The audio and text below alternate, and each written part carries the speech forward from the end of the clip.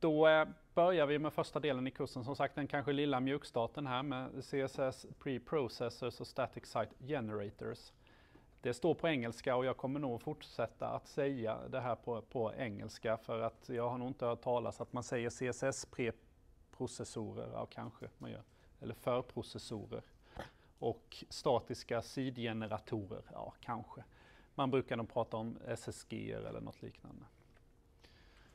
Uh, vad är då en CSS eh, preprocessor? Jo, som jag pratade om här redan innan rasten så har ni ju suttit och kodat CSS Förhoppningsvis som goda utvecklare ni är så har ni börjat inse begränsningarna ganska fort i CSS. Ni börjar inse att bara shit vad det vore gött och kunna liksom skriva variabler, ärva, skapa arvsstrukturer av mina liksom element, hur de, att de kan ärva egenskaper från andra element och sådana här saker. Och så märker man att det finns inte riktigt stöd i CSS för det. Okej, okay. CSS utvecklas också och nu finns det väl stöd för att köra med variabler till exempel, har väl kommit in här i, i någon av de senare versionerna. Jag vet inte riktigt hur stödet är för det där. Men, men det finns i alla fall en massa problem i CSS som gör att när man skriver CSS-kod så blir det ofta stora filer lång, med mycket, mycket kod i en och samma fil. Och det är svårt att hitta om man sitter och bläddrar upp och ner när man ska ändra eller så får man vara duktig på att utnyttja webbläsarens utvecklingsverktyg och in där och titta var man ska ändra någonstans och testa och sådär. Eh, som för att möta det här så skapade man något som heter CSS Preprocessors och, och hela poängen med det är att ni skriver kod på ett annat sätt än CSS i ett programmeringsspråk som kan heta, eller programmeringsspråk ska jag inte säga, men ett annat språk som heter till exempel SAS eller LESS. Sen tar den här preprocessen, läser av den kod ni har skrivit, arbetar om den och spottar ur sig ren CSS. Och då kanske det är som så att ni skriver 50 rader SAS-kod och ut kommer 200 rader CSS-kod. Så att ni kan alltså ha en mindre kodbas att underhålla och så spottar den här ut sig CSS-kod. Eh,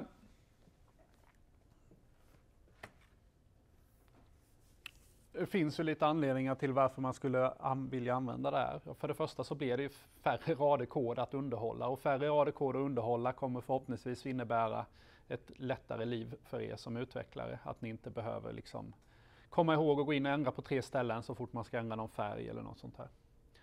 Eh, man får det här med Dry CSS. Mats har ju pratat mycket om Dry, att ni inte ska upprepa er själva. Och det har ni kanske börjat, förhoppningsvis har ni i alla fall reflekterat över det i HTML, att fasen jag upprepar mig hela tiden. Dels i HTML men även i CSS, att man får kopiera de här blocken och liksom putta in dem på olika selektorer bara för att man vill att vissa, vissa egenskaper ska vara lika. Visst, man kan nyttja klasser till det där för att försöka eh, minimera i alla fall upprepningarna, men det är ofta ganska svårt att få det helt, helt rent. Eh, det kan vara som så att man vill göra uträkningar i CSS-koden. Det är inte så himla enkelt i, i vanlig CSS. Man kanske vill att vissa kolumnbredder ska basera sig på vissa eh, förvillkor. Om att man ändrar förvillkor så ska bredderna räkna om sig automatiskt och sådär. Kan också vara lite kämpigt med något man kan ju nyttja i CSS, eller i, eh, CSS preprocessorn.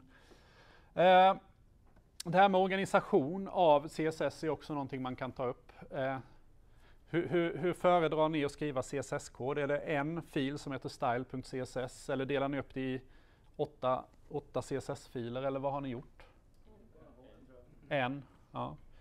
E, hur går det ihop med vad Mats har stått och sagt om, om att dela upp i moduler och, och liksom inte ha för mycket kod i samma fil? Den där, den där enfils style.css blir ju lätt liksom 500 rader. Hur skulle ni vilja göra? Dela upp det säger ni då, eller hur? Visst vill ni det? Alltså kanske en, en fil som hanterar layout, en som hanterar färgscheman, kanske en, en fil som hanterar vissa specifika komponenter på sidan. Det kanske är som så att ni har någon kartfunktion på er sida och då vill ni liksom ha en CSS som är kopplad till kartfunktionen. Säg att ni har en 8-10 CSS-filer. Varför ska man inte ha det då? Därför. Vad sa du? Fler ställen att underhålla. Ja, fast å andra sidan så är det ju schysst, schysst vad sa ni? Ja, precis. Problemet är kanske inladdningen. I alla fall om vi pratar HTTP1 som är det här protokollet, klassiska webbprotokollet eh, som ni säkert känner till, för ni brukar skriva HTTP i webbläsaren. Du, du, du. Och det gamla protokollet heter 1.1, HTTP1 brukar man prata om. Och i det protokollet så är det ingen, det är en ganska stor nackdel att ladda mycket filer. Så det tar tid, att det är kostsamt för webbläsaren att, att ladda, säg åtta CSS-filer. Det kommer att ta mycket, mycket längre tid än att bara ladda en fil. Därmed, däremot så kommer nu tekniker som HTTP2, alltså vidareutvecklingen på HTTP. Tittar ni på Facebook och Google och de stora giganterna så kör de HTTP2. Det är inte säkert att det faktiskt är så längre, att, att det är en nackdel att ladda många filer. Det kan till och med vara en fördel att ladda många filer för att man kan hålla vissa streams öppna och bara suga flera filer på en och samma gång och sådär. Um, då får man istället fördelar av cachning och så här i webbläsaren. Vi kommer att prata lite mer om det här senare i kursen. Då. Uh, men jag tycker, och jag tror att vi var rätt tydliga med det i förra kursen, ni måste i första taget så måste ni tänka på hur är det som, för mig som utvecklare att sitta och jobba? Hur får jag en schysst arbetsmiljö? Och då kommer ni att inse att ah, men om jag kan dela upp min CSS i komponenter, alltså tänk er att ni, om vi bara föreställer oss nu att ni hade gjort det här kortspelet, 21-spelet, som komponenter i webbläsaren, ja, då hade ni haft kort och någon kortlek och spelare. Då hade det varit rätt naturligt att ni hade haft en card.css där ni lägger CSS-information kopplat till ett kort, ni har en deck.css och så vidare. Om ni tycker att det är den vettigaste uppdelningen, gör då så. Tänk inte så mycket på i det här läget att ni bara ska ha ett CSS-fil eh, liksom, på webbsidan. Det tycker jag, det, kan, det löser vi med verktyg. Eh, Se, se istället till så att ni får en schysst miljö när ni sitter och utvecklar. Med hjälp av CSS Preprocessor så får vi den här hjälpen då. Alltså vi kan dela upp vår kod i väldigt många olika filer, men sen kan vi se till att preprocessorn bara paketerar ihop det här till en fil och skickar till webbläsaren och så är alla bekymmer lösta då. Så det kan vara en sak som vi kan hjälpas, hjälpas åt med här, då, eller få hjälp av. Vi har något som heter mixins som kan ses som nästan till funktioner. Alltså när, ni, när ni, ni har ett block av kod som ni ofta får upprepa. Jag vet inte om ni har använt eller om det är en grej längre. Det var ett tag sedan jag skrev CSS ska jag säga. Men eh, det finns ju sådana här vendor prefixes. Har ni pratat om det? Alltså att man kan lägga på bindestreck, mos, eh, bindestreck på vissa så här. Förr fick man göra det om man skulle ha så här border radius, man vill ha rundade hörn och sådär, så var man tvungen att lägga till något som heter webbläsarprefix för att alla webbläsare skulle stödja det här då i sina experimentversioner. Fick man ofta, så fort man skulle skriva en border radius så fick man liksom göra sex rader kod och så fick man upprepa de där sex rader kod hela tiden. Då kan man använda något som heter mixins som nästan blir som en funktion. Så att man bara skapar en funktion som man anropar en gång och sen så printar den ut all den här CSS då istället. Ehm, så blir det väldigt mycket snyggare. Jag ska visa lite exempel på det. Variabler är någonting som man har stor nytta av. Nu finns det som jag sa här också inbyggt i CSS så att eh, eh, det kanske inte är den stora eh, selling pointen ännu. hur många här hand upp har jobbat med jQuery en gång i tiden? Några stycken eh, på campus. jQuery var ett sånt här bibliotek som sysslar man med klientsideutveckling för ett antal år sedan. Då var jQuery nästan till bara, man måste bara ha det för man fick så mycket hjälp av det här biblioteket för att göra ganska simpla saker som man tycker borde vara självklart. Eh, jQuery idag är inte så självklart längre eftersom standardiseringsorganen eh, som jobbar med eh, JavaScript har tittat på jQuery, tagit in godbitarna därifrån på kanske sitt egna lilla sätt men ändå lyft in de bitarna i språket. Så idag är jQuery i princip obsolit, eller man behöver det i många fall inte för att det där finns inbyggt. Jag tror säkert att vi kommer landa där med CSS också så småningom, att man tittar givetvis på hur jobbar de här CSS preprocessors, vad är det utvecklarna behöver? Då försöker vi lyfta in det i språket. Variabler får vi in, vi kommer säkert få in mixins och så vidare och så vidare. Och vem vet, om fem sex år kanske ni inte behöver nyttja sådana här då för att det finns redan så bra stöd i språket. Då kanske det kommer andra saker som, som man har de här processerna till. Men eh, förhoppningen är ju att det kanske växer bort den här typen av verktyg. Eh, vad finns det då? SAS eh, är väl eh, bland de populära, SAS och LESS kan man säga. Det är två olika skolor. Eh, har ungefär samma upplägg, eh, skiljer sig lite åt i syntax och sådär. Um, man kan väl säga, ska man lära sig någon preprocessor idag så skulle jag ju rekommendera att man går på någon av de två, SAS eller LESS. Uh, finns lite andra också. Finns säkert lite nykomlingar nu som börjar bli heta. Uh, det här var faktiskt, jag har, det här var sedan förra året så jag har inte scoutat i år hur det ser ut. Men, så det kan ju ha kommit upp någon liten nykomling. Uh, vi kommer att köra på SAS. Vad är anledningen? Ja, den stöds på GitHub och GitHub Pages som ni kommer att använda i kursen. Eh, och då är det en fördel att köra den helt enkelt. Vill man köra något annat less, jag tror det går att få in det också kanske på någon vänster, så får ni jättegärna göra det också. Ni, eh, vi sätter liksom inte, det är inte, fokus är inte att ni ska lära ett speciellt verktyg utan fokus är att ni ska få testa på ett sånt här verktyg så att ni vet att de här möjligheterna finns och hur ni kan utnyttja dem. Då. Eh, så vi för, för, föreslår SAS men ni är fria att använda vad ni vill. Eh, ni behöver inte fråga i kursen på examinationsuppgift 2 och 3, får jag använda någon pre-process eller någonting? Absolut, ni får använda hur ni vill. Där har vi lite andra begränsningar på JavaScript-ramverk som ni inte får använda av bibliotek, men det, det står tydligt i uppgiften. Men, men SAS och LESS eller vad ni vill, det får ni gärna träna på att använda genom hela kursen, även om det bara är ett krav på första uppgiften. Eh, ja, då kommer vi till lite av de här grejerna som vi har. Variabler, nästning, mixing, partials, imports och operators. Jag tror faktiskt att vi kan titta på hur det ser ut istället. Nu är det inte så att ni ska behöva sitta och anteckna här, bara oh shit, hur gjorde man en sån där? Det här står i dokumentationen. Eh, jag vill bara visa på så att ni får en känsla för hur, hur, hur det här fungerar då.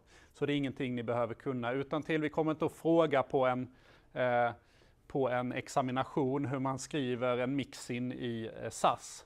Däremot så kan vi ju fråga vad är SAS? Vad har man det till? Vad finns det för fördelar? Alltså den typen av frågor. Men vi kommer inte att, och, och fråga syntax specifikt på, på, på någon av de här eh, delarna. Men ni kan ju titta här hur vi jobbar. Eh, eh, här ser ni, här har vi då filformatet SCSS. Det här är då SAS som har sitt eget filformat. Så vi skriver i en syntax som heter SCSS eller SAS. Tittar ni så känner ni igen det för att mycket är, alltså det är ju CSS i princip, men det är bara det att man har lagt på lite ny, ny syntax ovanpå. Bland annat kan vi använda dollartecknet så här för att specificera en variabel. Så dollar font stack kolon Helvetica sans serif. Då har vi definierat en variabel som heter font stack. Sen så fort vi ska använda font som här så kan vi bara istället för att ange Helvetica sans serif så kan vi bara använda den variabeln och i outputen sen som går ut till webbläsaren så bara ersätter den variabeln med det som vi har där. Och det är ganska schysst, då kan ni liksom definiera era rubriker och, och sånt där en gång högst upp i SAS-filen och sen så kan ni bara nyttja det rakt upp och ner. Färger samma sak, alltså ni kan sätta en färg här och sen kan ni se till att använda den färgen på lite olika ställen och då behöver, vill ni ändra färgschema så är det bara att gå in på ett ställe och göra det där. Det där tror jag man, är det någon som har använt variablerna i, i CSS när ni jobbade? Nej, det finns ju som sagt i CSS numera då, men jag tror ändå att ja, när ni ser det här, det känns ganska, åh, det här hade jag velat ha. Typ. Alltså jag tror man känner det där lite så, att det här hade varit något som var rätt gött att ha i CSS. Eh, nästling, det här är någonting som jag minns, nu var det väldigt länge sedan jag lärde mig ja, eh, CSS, men det här minns jag att jag saknade. Och det är på något sätt någon möjlighet att nästa selektorerna. Eh, det är ofta man får skriva så här nav, ul, li, nav, ul, li, p, bla bla bla. Och så får man upprepa det där. Vissa hittar på trick att man, för att man ska se vad som ingår så tabbar man in allt ett steg så att man ser att de här tillhör det och sen får man försöka bygga sin egen hierarki men man måste upprepa sig hela tiden. Eh, så istället då för att hålla på här till exempel så kan vi ta och skriva nav och sen kan vi sätta måsvingar och då allting som står innanför nav här förutsätter att de här finns inuti en nav element när man går vidare i sina selektorer. Sen kan ni ju nästa dem där hur ni vill. UL här till exempel skulle man kunna då skriva UL och sen alla UL som innehåller en LI och så vidare som ni vet. Och ni ser ju då, det som händer när man kör det här sen, det är att det görs om till den där koden istället. Uh, mixins, här har vi just det här exemplet va, med att så här får man ju ofta göra. WebKit border radius 10 pixlar, Mozilla border radius 10 pixlar, MS border radius 10 pixlar, och så får man upprepa allting flera gånger för att få bakåtkompatibilitet och så vet ni att man alltid sätter den där sist, va? den riktiga som börjar gälla. Eh, då kan man göra en sån här så kallad mix-in, det blir som en funktion nästan kan ni se det. Typ se det som function, border radius, in-parameter. Eller parameter. Och den här parametern, sen så vad ska den här generera? Jo den ska generera det här också med den radien som vi har skickat in hela vägen. Så. Eh, sen när ni behöver den, den här boxen, den vill ha en border radius. Då kan ni ta include på den här funktionen border radius och skicka in 10 pixlar och då kommer det här att ersättas med det här nere. Så, så, så som ganska likt någon form av funktion egentligen som ni har sedan tidigare i JavaScript. Mm. Bara exempel. Eh, går ju att göra massa andra grejer. Partitions och imports, det var det här jag pratade om att man kanske vill slå ihop flera CSS-filer till en och samma. Eh, då kan man göra det på två olika sätt. Eh, man kan köra import på en css-fil.css. Det där är den klassiska importen, den kan man göra i CSS redan idag eh, för att länka in flera CSS-filer. Ni vet, ni kan länka in en eh, style.css i er HTML-kod och sen inuti style.css så kan ni skriva import på andra CSS-filer som ni också vill ha, så, så in, länkas de också in på samma sätt som om ni hade skrivit alla i HTML-filen egentligen. Uh, gör man det och skriver .css som filändelse där så kommer det att fortsätta att vara .css. Alltså det, det som, den, den rör inte den raden utan den kommer bara att, att lägga till den. Ja. Går det snabbare att skriva import eh, i CSS jämfört med HTML? Nej, det är egentligen ingen skillnad mer än att eh, man skulle kunna tänka sig att, eh, nu minns jag inte hur det hanteras i CSS, jag vet bara det i JavaScript, men eh, man skulle kunna tänka sig att webbläsaren skulle kunna läsa flera CSS-filer parallellt om de ligger länkade i HTML-dokumentet, medan webbläsaren får inte reda på den här CSS-filen förrän den faktiskt har läst in CSS-dokumentet och öppnat det. Det är först då den ser att den ska ha en ny fil som den måste hämta. Hämta den filen, sen kanske den i den filen ser att den måste hämta en tredje, så då kommer de liksom att följa på varandra. Teoretiskt sett så borde väl CSS-filer som är deklarerade i headen kunna läsas parallellt av webbläsaren. Men jag har lite för dålig koll på CSS för, för, för att kunna svara bättre än så. Eh, jag tror det handlar mer om hur man, hur man vill rent praktiskt gå tillväga när man kodar, att man kanske tycker det här är lite cleanare att kunna göra inkluderingarna i direkt CSS. Det ni kan göra dock, det är att om ni utelämnar .css och bara skriver som Mobile här, då kommer den att leta efter en mobile.sas-fil, inkludera och slå ihop det i, i outputen. Så att eh, då görs det här redan innan det här skickas till klienten. Då behöver klienten inte göra fler anrop. Ni kan alltså läsa in, importera tio olika filer här Fast outputen till webbläsaren så slås allting ihop och skickas bara en gång. Jag vågar inte svara för det har jag glömt. Vad tusan i mig skillnaden var på om man hade ett underscore före eller efter. Är det någon som kan det? Kan ha haft något med templates att göra. Jag, jag har glömt det, det var för länge sedan jag höll på med det här. Det finns garanterat i guiden om ni läser där vad det där underscoret gör. Men kort kan man säga, utelämnar ni filnamn så kommer den att leta efter en fil som heter reset.sas och försöka inkludera den istället. Då. Men jag, jag, jag, vill trycka på det här så att i HTTP 1 så är det en bra, good practice att bara ha, ha så få HTTP-anrop som möjligt. I HTTP 2 så är det snarare bad practice. Var är vi nu? Ja, vi står och väger precis mitt emellan. Troligtvis när ni eh, inom ramen för utbildningen bygger applikationer gör ni det HTTP 1. Men det är mycket möjligt att när ni kommer ut sen att det blir mycket HTTP2-applikationer. Då får man tänka om lite. Men vi kommer att prata om det där ganska mycket under resans gång så att ni får en känsla för det. Operatorer. Eh, just det, om man vill göra någon form av uträkningar i sin kod så går det att göra. Eh, till exempel här har vi någon form av vi har satt en width på hela vår webbsida som är 960 pixlar. Vi vill ha en fast bredd på något sätt. Sen vill vi räkna ut någon sidomeny som ska vara eh, eh, 300 pixlar genom bredden på någon vänster. Ja, då får vi ut att den ska vara i det här fallet 31,25 procent. Ändrar jag bredden så kommer ju den här bredden på, på sidan också att räknas om och bli lite olika procentsatser beroende på. Um, så det går att jobba med aritmetiska beräkningar direkt i CSS-koden om man vill.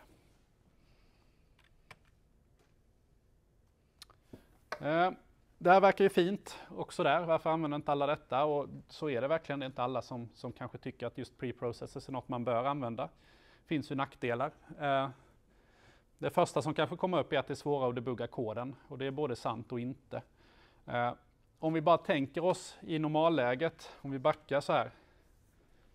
Det här är ju den koden ni sitter och tittar på, den översta, va? det är den ni skriver. Koden här nere är det som står i webbläsaren. Och det betyder att när ni går in i utvecklingsverktyget i webbläsaren för att se vad det var som gick fel, så kommer ni att se att det är fel på den här raden, rad 8. Sen går ni in och tittar på rad 8, då visar det sig att rad 8 är den där raden i er fil, för de matchar liksom inte, det är ju samma fil. Eh, och det kan ju upplevas som ett problem. Nu finns det lösningar på det, jag tror jag har en slide på det också, med något som heter source mapping. Och då, då, då helt enkelt serverar man information till webbläsaren så att den kan matcha radnummer och faktiskt visa CSS, eller SAS-koden istället för CSS-koden direkt i webbläsaren.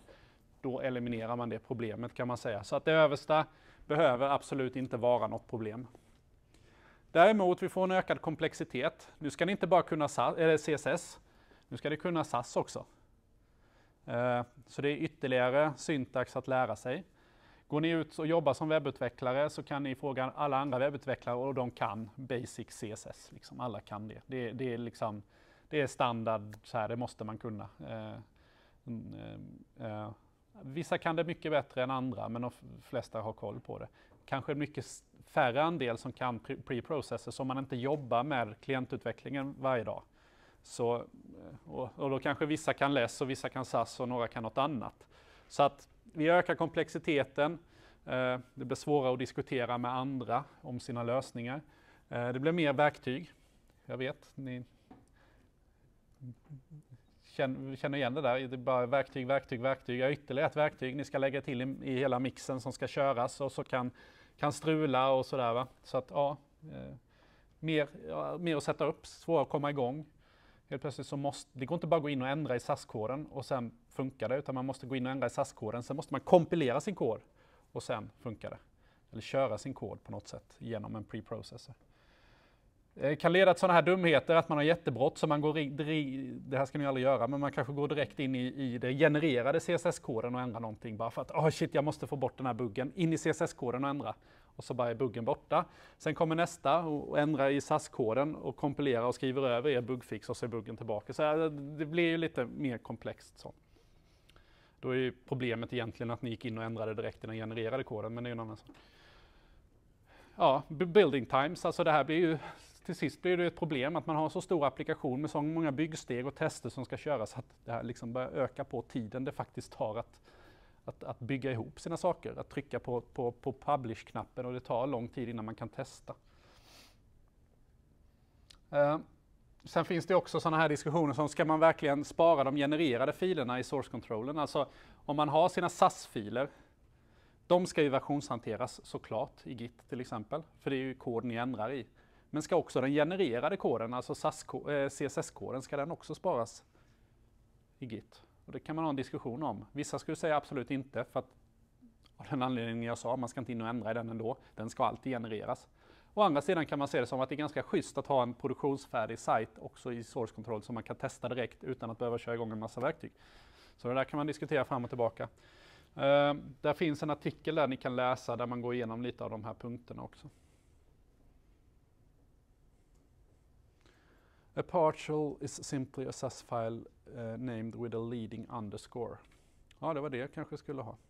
Var det därför jag hade ett underscore där? Ja, ni får se det i alla fall. Uh, jag fick också en fråga om SCSS i en separat fil. Ja, absolut. Det, det är filer precis som ni jobbar med dem i CSS. I CSS har ni kanske en katalog som heter slash CSS eller slash style.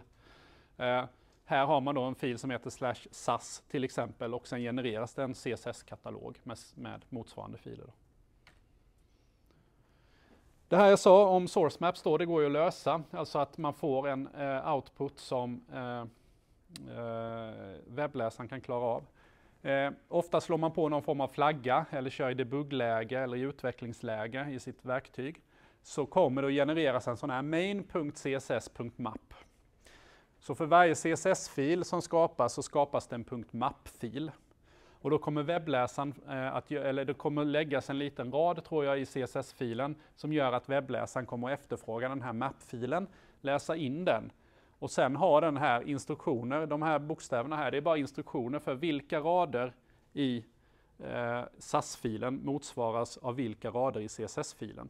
Och på så sätt så kan ni, när ni går in och debuggar i webbläsaren, se samma filer som ni har framför er i utvecklingsverktyget och stoppa debuggen, ja nu gör man ju kanske det inte i CSS direkt, men ni kan gå in och ändra på rader i CSS-filen Eh, och som, eller SAS-filen direkt i webbläsaren som motsvarar det i er utvecklingsmiljö. Så det, det är ganska vettigt att slå på det där om man jobbar med SAS. Eh, vi kommer ha samma typ av verktyg i JavaScript sen och då blir det livsnödvändigt, annars kommer ni ingenstans om ni inte har det här igång. Men det, det står i instruktionerna. Uh, Ja, just det. Den, I CSS-koden så lägger den till den här lilla kommentaren längst, längst ner då, som talar om för webbläsaren att det finns en source mapping till den här filen. Det här bör man ju givetvis, det här blir ju ganska mycket overhead. Det är ganska mycket extra, det är en extra fil och det är extra data som ska skickas till klienten. Så det här är någonting man har igång under utvecklingen. Sen när man ska trycka det här till produktion, då kommer de här typerna av verktyg att stängas av och så gör den en så enkel och minifierad version av CSS som möjligt. Och det ju, har ni säkert märkt när ni går och försöker titta och luska i CSS-filerna på, på sajter och sådär kan man ju se, ja men undrar de har gjort det här, så går man in och tittar och så är det bara att allt är skrivet på en enda rad och det är bara helt obegripligt allting. Och det är ju för att då har de haft något verktyg som verkligen har tryckt ihop och minimera. Det är onödigt att ha en massa radbrytningar och tabbtecken liksom i CSS-filerna. De har vi ju bara för att det ska vara lätt och snyggt att läsa. Men de tar ju bara upp extra plats när man ska skicka dem över nätet så att det är lika bra att bara sopa bort allt sånt där. Och det kan den här typen av verktyg hjälpa till med också. Oh, min hals börjar göra ont. Frågor på SAS till att börja med och LLS. Ja, alltså det, det är en så liten del i kursen. Det här är verktyg jag vill att ni ska känna till. Ni får jobba med dem på en av uppgifterna och det tror jag räcker för att ni ska få en känsla för hur de här fungerar och ha dem i er verktygslåda sen. Det, det är egentligen så vi ser på det.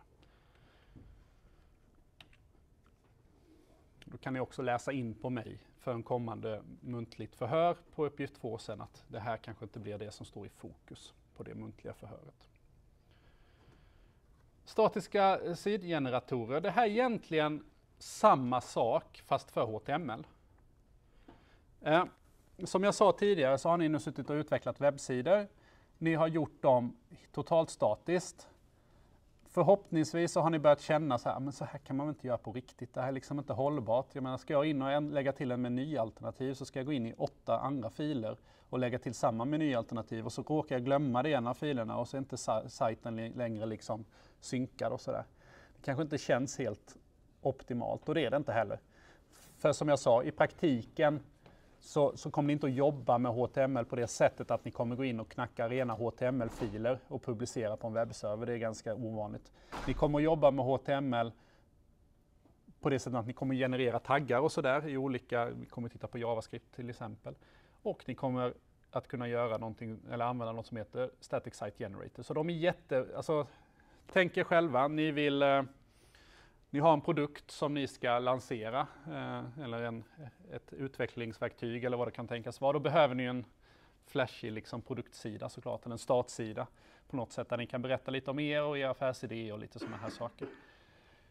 Där kommer ni inte ha en massa inloggning och medlemsregistreringar och liksom så här dynamiskt, utan det är bara, det är bara liksom det ni har gjort egentligen i den här förkursen. Det är en statisk HTML-sida. Eh, där lämpar sig den här typen av verktyg jätte, jättebra, för då kan ni göra de här väldigt, väldigt enkelt, väldigt snabbt och få ett väldigt snyggt resultat på ett, på ett enkelt sätt. Eh, vi ska titta på det. Ja, varför vill man ha de här? Ja, först och främst, så statiska webbsidor är snabba. Helt enkelt. De, de, de har väldigt, väldigt bra prestanda. Eh, Tänk er då den här, er produkt nu, ni har släppt ett Kickstarter-projekt eh, där ni eh, ska lansera den här produkten. Ni har satt upp en jättesnygg produktsida där man beskriver produkten i detalj, ni har lite filmer på den här och sådär. Och sen så skriver eh, eh The Verge om den här fantastiska idén som ni har. Och så visar det sig att er sajt nu det är en avancerad liksom, databasdriven lösning som, som loggar användarna, alltså var de kommer ifrån, sparar i databaser och ditten och datten. Vad tror ni händer när The Verge släpper den här på, på, på, på måndag morgon när alla kommer till jobbet och så klickar de och så går de in och ska de titta på er fina sajt eh, och, och få en produktpresentation och då kommer er sajt bara vara helt nere för att databasen har krabbat ihop för ni hade liksom inte köpt prestanda för att klara av hundratusentals anrop på den korta tiden som ni får. Där är sådana här Static Site Generators extremt bra för att de, det är bara ren HTML och CSS. Det är snabbt, det är lätt att skala, man kan lägga det här på GitHub eller på Amazon Web Services och det bara skalas snyggt och prydligt enkelt utan att man behöver göra något speciellt större jobb med det här. Eh, ni kommer att jobba med versionshanterat material för att det blir i princip att man jobbar med Git och släpper eh, versionshantering på GitHub till exempel och per automatik får ni med de bitarna då. Eh, säkerhet med statiska sajter är ju fantastiskt bra. Eh, problemet är så fort ni har en databas eller ni har någon form av dynamiskt innehåll så börjar ni öppna så kallade attackvektorer i era applikationer. Attackvektorer som ondsinta människor, robotar och annat kommer att försöka nyttja för att sänka er sajt, eh, medvetet eller omedvetet. Eh, databaser är ju ett typiskt sånt här. Jag menar, jag vet inte hur många gånger ni själva har läst om att lösenord har läckt och eh, användarnamn har läckt från olika tjänster. Och det är för att det finns alltid attackvektorer som man kan försöka nyttja och vissa eh, svagheter i systemen som gör att sådana här saker läcker. Sån här sajt är väldigt, väldigt osårbar. Eh, det egentligen enda som kan hända det är att leverantören där sajten ligger på något sätt blir eh, angripen och man kan byta ut er sajt mot någonting annat. Eh, själva sajten i sig har egentligen inga attackvektorer att tala om för det. Så länge ni bara har HTML och CSS så finns det liksom ingenting man kan göra så länge man inte lägger till någon form av dynamiskt innehåll. Så att de blir ofta väldigt, väldigt säkra. Eh, man behöver bara en enkel webbserver. Ni kan lägga upp det här på en Raspberry Pi och sätta hemma i garderoben och så kan ni drifta er, er sajt därifrån och klara förvånansvärt många eh, anrop samtidigt. Det kanske till och med som så att er internetuppkoppling blir den begränsande faktorn i vissa fall. Då. Uh, ja, och det, det, skalar väldigt bra både trafikmässigt och att det är lätt att casha saker och ting på vägen när det är statiskt innehåll. Så, att, eh, så fort så fort ni kommer i de där situationerna att ni inte behöver en massa medlemsinloggningar och dynamiskt innehåll och sådär. Fundera i de här termerna om det inte är en statisk sajt ni faktiskt vill använda. Och finns det väldigt många. Eh, Jekyll är det som vi kommer använda i den här kursen av den enkla anledningen att det stöds på GitHub. Det betyder att ni kan skapa en branch på GitHub som man döper till GitHub Pages när ni lägger någonting i den, en Jekyll-sajt i GitHub Pages, så kommer GitHub att bygga den här sajten åt er och publicera den på en eh, egen adress. Och det är det vi kommer att dra nytta av i den här kursen. Då är det helt fri, fri hosting via GitHub så att säga. Sen finns det många mer, Octopress, någon som känner igen Gitbook. Ja, det är ingenting annat än en sån här Static Site Generator, alltså Gitbook som Mats använde, eller vi använde i 021 med kursboken där i. Det är en sån här statisk site generator. Då, då har jag och Mats suttit och kodat i MD-filer, jag kommer till vad MD-formatet är. Suttit och kodat i det formatet, sen har det publicerats på Gitbook. Så att ni kan gå in och titta på det eh, den vägen. Middleman, Hugo, det finns eh, massvis med, med andra sådana här statiska sidgeneratorer. Många, många fler sådana här än vad det finns eh, CSS preprocessors. Det finns och alla har sina speciella nischer, vissa för att skriva böcker, vissa för att göra företagspresentationer. Alltså det finns massvis med grejer. Och sen har ju de här ofta stöd för olika teman så att ni bara kan dra ner en template så får ni en färdig sajt i princip som ni bara fyller på innehåll i. Uh, ja just det, vissa av egenskaperna, ni känner nog igen det här, är ganska likt det här med eh, vad vi har i, i CSS så att vi har någon form av partials includes. Och det här, om vi tittar på det, vi kan väl gå vidare och titta på det direkt. Det, det är något sånt här va, man vill göra när man skriver HTML. Okej, okay, vi har en in default.html eller index.html. Sådär. Här uppe inkluderar vi någonting som heter head.html. Ja, då får vi in eh, en HTML-fil som inkluderas och skjuts in där i innehållet när man kör den här. Där kan vi skriva vår head, för headen kommer troligtvis att se, se likadan ut på alla sidor. Eventuellt så skiljer den title som man vill lyfta ut eller något sånt här eller skicka som parameter. Men eh, i övrigt så, så, är de rätt lika. Eh, vi har en header.html som är eh, toppdelen på sidan. Vi har någon footer längst ner som ska se likadan ut på alla sidor. Vi har någon menu och så vidare. Och de kan man göra med den här typen av partitions eller includes. Då. Eh, i just Jekyll så heter det Partitions och man lägger dem i en folder som heter includes. Så det här kan ju givetvis skilja åt vilken typ av eh, SSG man använder, men, men, den här funktionaliteten finns oftast i de flesta. Eh, man kan använda templates eh, som, ja ni ser i det här fallet, man vill ha bloggposter till exempel. Då kan man loopa igenom alla poster som finns i en speciell katalog här ligger det då poster skrivna i, i, i, filer och sen loopas hela katalogen igenom. Så är det tio filer så får vi tio sådana här eh, listelement skapade åt oss och så klickar man på dem så ska någonting hända, visas den här posten eller någonting.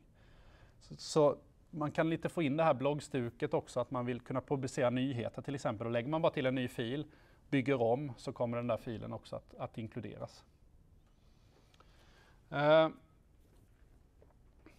i Jekyll så heter den här, det här är ju då olika template-motorer man använder, men i eh, Jekyll så heter den Liquid som används för det här då. Då får man titta lite på hur man använder den tillsammans med Jekyll. Men det finns så väldigt bra guider för, för alla de här basic-grejerna. Eh, det är ganska väl dokumenterat. Då kommer vi till det här, Markdown. Har ni skrivit Markdown någon gång? Nej, ingen som känner igen det? Har ni läst någon Markdown tror ni? Ja, Egentligen alla filer som man läser på GitHub, de här readme.md och så vidare, det är Markdown-filer. Markdown är ett eh, fantastisk uppfinning tycker jag. Eh, ni har säkert alla suttit och kämpat med Word och indragningar och, och, nya stycken och saker och ting blir inte som det blir, vill och så får man slå på det här läget för att se alla tecken och så inser man att jaha, där har det smugit sig in någon, eh, något blanksteg och där är något som är fel och dittan och dattan.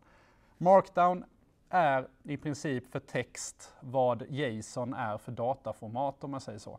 JSON, eh, har vi pratat om JSON i förkursen? Jag minns inte vilka studenter jag pratat med om nämligen. Nej, jag har nog inte gjort det.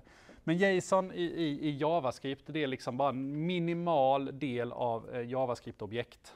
Det finns inga funktioner och så här, det är bara de enkla delarna i JavaScript-objekt. MD är samma sak fast för text. Alltså man har tagit, vad, vad har alla, alla textdokument gemensamt? Ja, men de ska kunna ha rubriker, listor, länkar, bilder, stycken. Så, ungefär. Det har alla textdokument. Och så nöjer vi oss med det. Och så gör vi en enkel textbaserad standard för det här. Som innebär att skriver man två hashtecken så innebär det en rubrik på nivå 2. Skriver man bara en rad så blir det en paragraf, alltså ett stycke. Vill, skriver vi ett punkt så blir det en lista, sån här ni vet, punktlista 1, 2, 3, 4, en, en uh, ordered list om vi pratar HTML.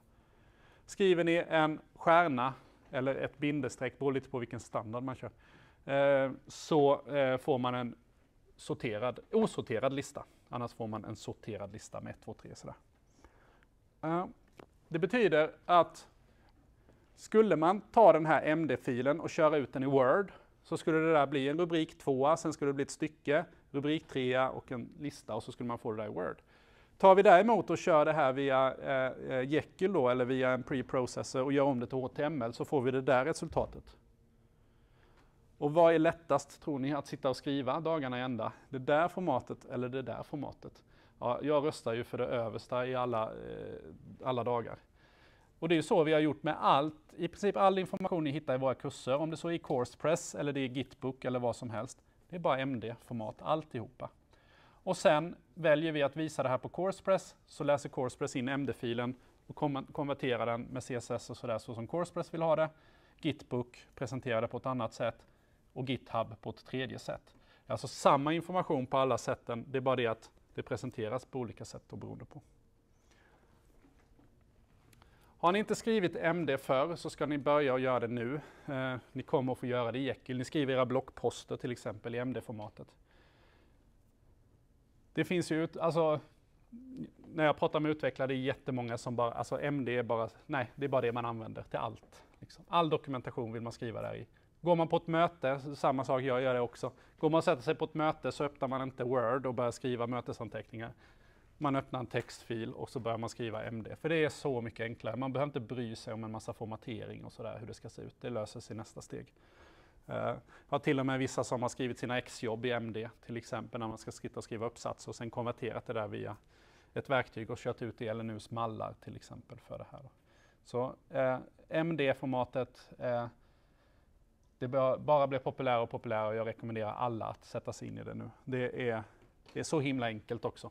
Ska man göra en länk till exempel så ska vi se om Mats är med så att, han, så att det syns på tavlan. Om jag skriver här. Eh. eh.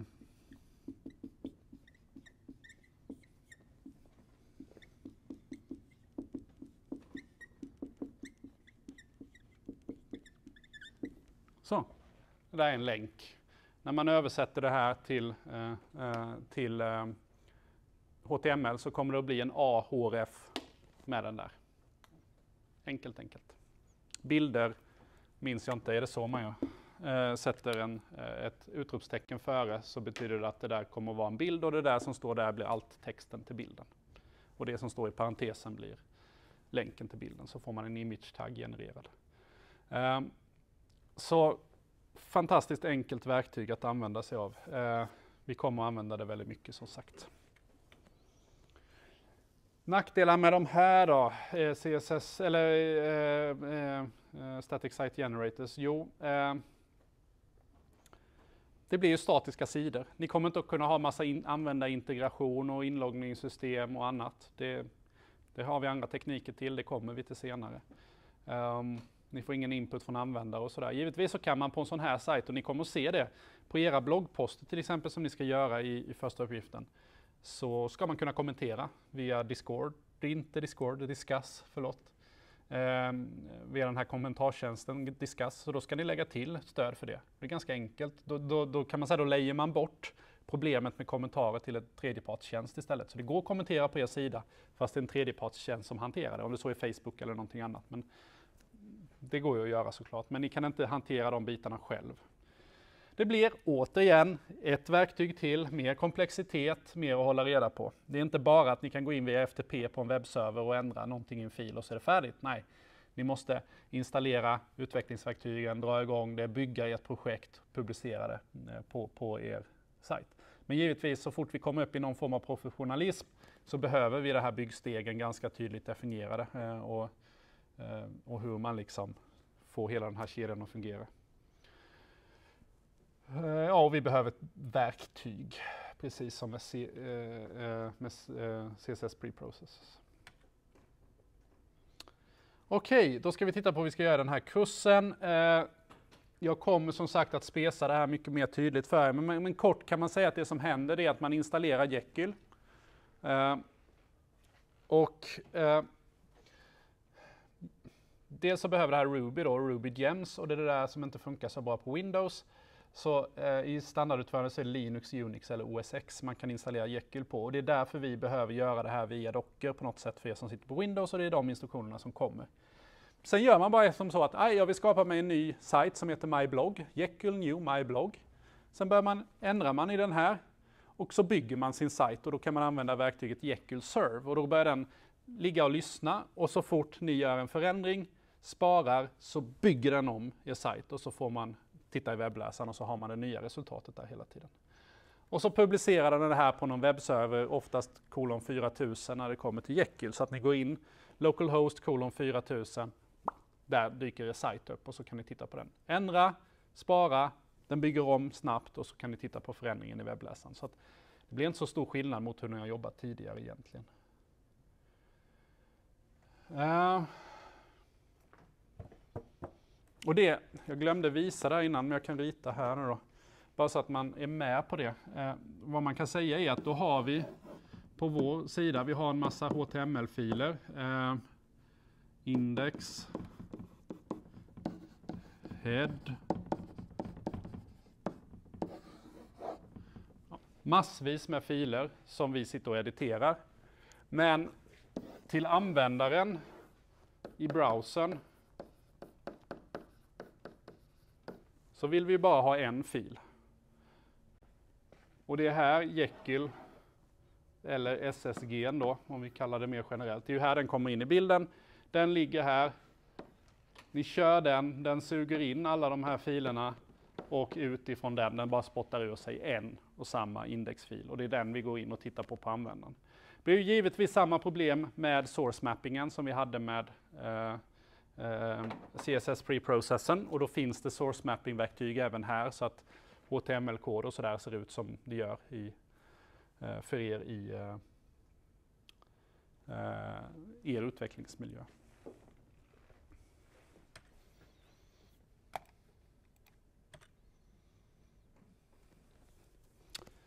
Första eh, uppgiften i kursen blir att ni ska bygga en sån här sajt med Jekyll och SAS. Eh, all CSS ni bygger ska vara genererad utifrån CSS preprocessen. Jag rekommenderar SAS. Den är inbyggd och klar i Jekyll och i det paketet så att då behöver ni inte göra något annat. Vill ni får ni jättegärna använda Less eller något annat. Lite mer upp till er själva att bygga ihop det i så fall. Eh, men tänk på det, all CSS ska ni gå igenom den här preprocessen. Man ska kunna kommentera, det blir någon form av liten blogg med någon startsida. Ni ska kunna skriva inlägg och svara på frågor i de här inläggen. Så varje fråga blir ett eget inlägg och så ska ni skriva lite om de här olika frågorna vi har ställt då. Och sen ska vi kunna kommentera på dem via eh, då, eh, Discuss. Discord, jag blandar alltihop. Discuss. Eh, och där finns också information om hur det går tillväga med det. Eh, och ni ska använda något som heter Open Graph for easy sharing on social media. Vad är det där? Vet någon som vet vad Open Graph är? Det där är ju ett Facebook-påhitt från början. Deras sätt att på något sätt, om man delar en länk i Facebook, om vi bara tar en länk till vår sida och delar i Facebook så vet ni att när man klistrar in den där så brukar det ta ett litet tag så dyker det upp en snygg bild och så står det en liten ingresstext och sådär va.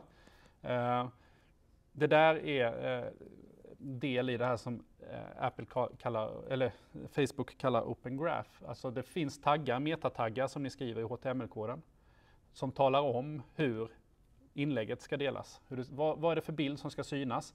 Ni har märkt ibland, om man inte sköter det där, så går man in och så kopierar man en länk och så får man en så här reklambild som, som liksom bild för det här inlägget som inte har någonting med inlägget att göra. Trots att det finns en jättefin bild i inlägget. Då har man inte skött de här Open Graph på, på ett bra sätt. Vilket gör att Facebook själva får försöka ta någon bild som den tycker verkar vettig och lägga in. Så det här, här tar vi som utvecklare kontroll över. Vad ska det stå här? Hur ska det här inlägget delas? Och det där är inte bara på Facebook längre som det var förr, utan tar ni den här, klistrar in den i Slack till exempel, samma sak. Då kommer Slack att leta efter de här Open Graph-taggarna och sen kommer den att, att anpassa det här efter. Så att Open Graph kan man säga det är ett sätt att ta kontrollen över hur vår länk kan delas. Och, eller rättare sagt, inte hur den kan delas, men hur den kommer att se ut när den delas i olika verktyg. Twitter eller vad det må än vara då. Det ska ni lägga in, det finns i instruktionerna, plus en massa andra grejer. Ni får läsa det där själva. Vi kommer att använda dockor. Förhoppningsvis så stämmer det här då, att det är enkelt att sätta upp det. Viss reservation för Windows Home då, men jag hoppas att det inte ska bli något problem.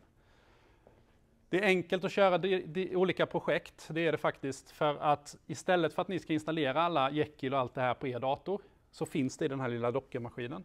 Så ni bara Kör igång den dockermaskinen, allting körs igång i den virtuellt i er dator. När ni tar bort den där dockerfilen så tas allting bort från datorn. Det finns inga spår av det här kvar på er dator. Som utvecklare är det här jätteskönt. För det betyder att jag kan ha åtta dockerinstanser igång.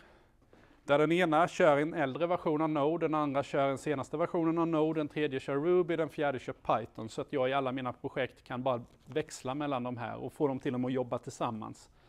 För det är alltid bökigt som utvecklare när man sitter i flera projekt och sen så har man olika versioner av alla programvaror i alla de olika projekten och så ska man försöka hantera det där genom att avinstallera och installera på nya versioner. Det, det blir helt hopplöst i slutändan. Förhoppningen är då att Docker ska kunna lösa det här åt oss. Eh, Vagrant är också en virtualiseringsmiljö som man kan nyttja, eh, men ja, det visade sig förra året att det gick inte så lätt. Vi hoppas på det här snarare. Eh, det kommer också här, ni ser att det finns då en boilerplate ni ska nyttja, men, men var lite försiktiga än så länge som sagt. Avvakta torsdagen när all information om det här kommer upp. Så, har ni några funderingar? Nu drog jag, jag, jag, kan ju inte låta Mats vara den som bara drar över hela tiden, så jag fick också dra över sex minuter idag. Men har vi någon fråga om någonting? Man kan ju säga att nästa vecka då, då drar vi igång på, på riktigt, riktigt. Då kommer vi att börja titta på webbläsaren och hur den fungerar inuti eller bakom kulisserna. Och det blir en ganska viktig del faktiskt i, i kursen, just det här hur, hur JavaScript internt hanteras i webbläsaren. För det är ganska viktigt att förstå för att man ska be kunna begripa varför vi kodar som vi gör också i webbläsaren, vilket är lite speciellt.